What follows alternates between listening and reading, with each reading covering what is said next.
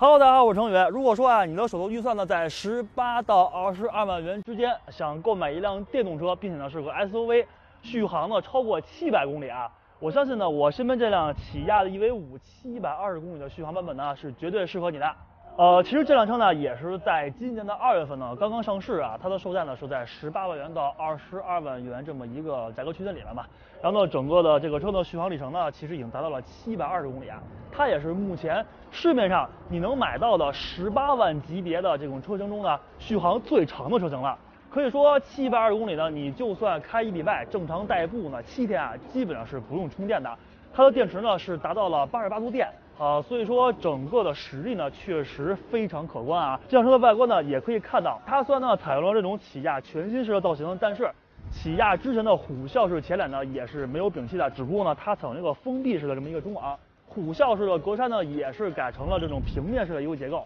呃，看上去呢非常具有科技感，但是呢整个造型呢确实非常得体。呃，其次呢最醒目的啊就是它的这个车头前部的这个 LED 的日间行车灯，它采用了一个分体式的灯组，但是呢。它的这个大灯呢，跟行车灯也是在这种包围的这种感觉，整个的这种样式呢，确实是拓宽了整个横向的车头的视觉宽度，呃，并且呢，前引擎盖上这么一个四根金线啊，其实呢，对于这个车头的力量感是把控的非常到位的。侧面呢，其实可以看到，EV 五的尺寸呢，其实就是一个标准的紧凑级 SUV 的这么一个水平，只不过啊。它从 A 柱往上一直延伸到 C 柱呢，都采用了一个比较方正的这么一个设计，所以说整个车的高度呢是非常的可观的。呃，其次呢就是它的这个充电口，快充慢充呢都是在这个前部右边的翼子板处，呃，其实是跟传统意义上的后充这个装置的其实有一定的差别啊。呃，再有呢就是它采用了一个黑色一个轮眉，然后整个的轮毂造型呢，呃，其实是一个十九英寸的。呃，如果说你是前驱版本呢，其实它只是采用了一个十八英寸的一个轮圈。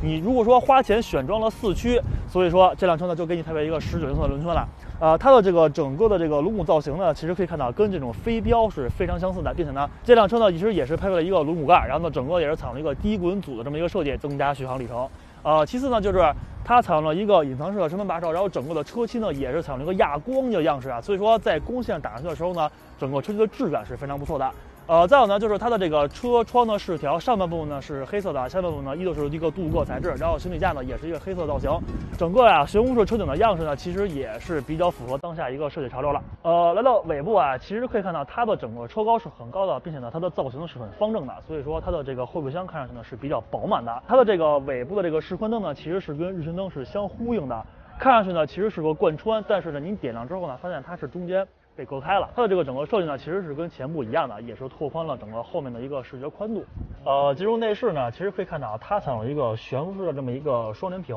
呃，其实真正意义上它是一个三联屏，它中间呢有一个空调的一个液晶面板，然后整个的这个屏幕的流边呢其实是比较薄的，然后看上去呢整个屏幕塞的还是比较饱满的。呃，配上它的这个 HUD 的一个抬头显示吧，所以说整个车呢其实可以达到一个四屏联动的这么一个功能。呃，再有呢，就是它的这个整车的这个中控台这个整车的内饰啊，呃，因为这个车其实就是一辆新车，呃，其实我们进来之后呢，整个车里没有明显的这么一个新车的味道，其实它采用了更加环保的材质，也是达到了一个婴儿级别的这么一个座舱，所以说啊，它的这个整车的环保性其实是很高的。呃，其次呢，就是这辆车的配置很高啊，它前部的座椅呢都是采用了一个通风加热的功能，并且呢，主驾驶座椅呢还有一个一键式的零重力的功能，它在这个腿部下面呢有一个腿托。然后整个的这个舒适度是比较不错的，并且呢，这辆车呢采用了一个植物的一个合成皮，整个皮质呢很细腻，然后呢座椅的填充物呢是很柔软的，然后坐上去呢其实是家用起来呢真的是非常的舒服。呃，其次呢就是它这个方向盘，它这个驾驶模式旋钮啊，在这个方向盘的下部，其实是用起来很方便啊，但是呢就是如果说你不是很熟悉的话呢，其实呃还是需要自己的去多研究研究吧。它由于呢中间呢。采用一个非常一个开放式的一个设计，然后呢，并且呢，它这个副驾驶座椅跟主驾驶座椅不是一个对称的，它采用了一个小垫垫啊。这个，呃，官方说这个垫垫是美观啊，它不是说意思是说你前面能坐仨人，其实这个不太现实啊。并且它的下部呢也是有一个储物空间的，可以有一个钥匙充电呀，然后呢，整个的这个 NFC 的一个钥匙，还有一个手机的无线充电功能，其实都有的。前部呢有两个 Type C 接口以及一个十二伏电源。它的这个屏幕下部呢有一个触控式的一个按键，包括说像。呃，整个的这个菜单键啊，包括地图按键，其实都是触摸就可以直接操控了。然后呢，空调的实体按键的温度，然后风量，还有模式呢，其实都是有这种实体按键的。然后整个的是，呃，可以触控，也可以实体，其实便利性是很高的。呃，再有呢就是这辆车的一个挡杆，它并不同于像一些传统意义上的一个新能源的一个新势力啊，就是你上车即上电，下车即下电，它是传统意义上呢，你需要用钥匙去解锁、去锁车、去开锁。呃，整个的启动按键呢，其实是在这个挡杆上面的。其实，呃，如果说你是第一次去试驾这辆车的话，其实真的是要熟悉一下。然后整个的挡杆呢，其实是跟大众的 ID，包括说像宝马此前老一代的 i3 是非常像的，它是那种旋钮式的一个拨杆换挡。呃，整个挡杆是很粗壮的，并且是不能移动的。呃，所以说它也是节省了一大部分这么一个中控台中央通道的一个位置。啊，它的中控屏内部呢，其实是百度地图，也是百度给做一套车机系统，然后并且呢，它支持苹果的无线 CarPlay 功能。然后呢，整个的这个运行速度啊，其实是很快的，包括像车载微信啊，然后腾讯的一些小场景，包括说像代客泊车模式、车辆诊断。然后呢，整个的这种路书其实是它是都有的。然后呢，整个的实现下来呢，其实相比于造车新势力呢，它是有一些落后。但是啊，对于合资品牌来讲，这套车机系统呢，目前已经是非常的领先了。而到后排呢，其实最引人注目的就是它的这个车载冰箱了。哎，打开之后呢，其实里边放三瓶水是没有任何问题的。包括说它的温度呢，可以在五度以及五十五度之间呃来回调节。呃，你去温一些奶啊什么的，其实都是没有任何问题的，还是以家用为主嘛。呃，其次呢，就是它在主副驾驶的两侧，主驾驶的后面跟副驾驶的两侧都是有一个 Type C 接口的。然后呢，它的这个空调出风口呢，其实设计在了 B 柱上面，然后整个的这个风量呢，其实是非常可观的。呃，其次呢，它还有一个小桌板，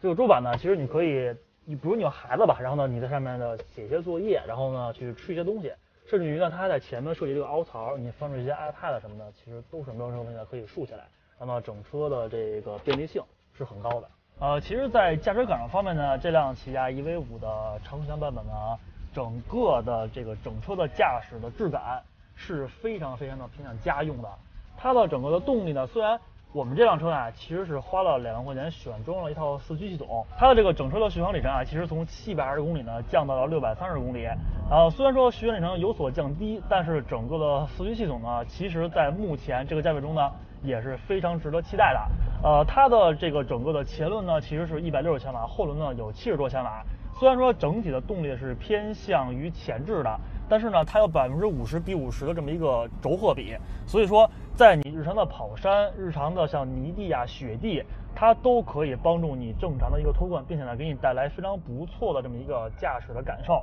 呃，这辆车呢也是配备了一个雪地模式，所以说当你的城市呢去下暴雪了，比如说你住在北方，你的城市呢在冬天会下雪，所以说你也不会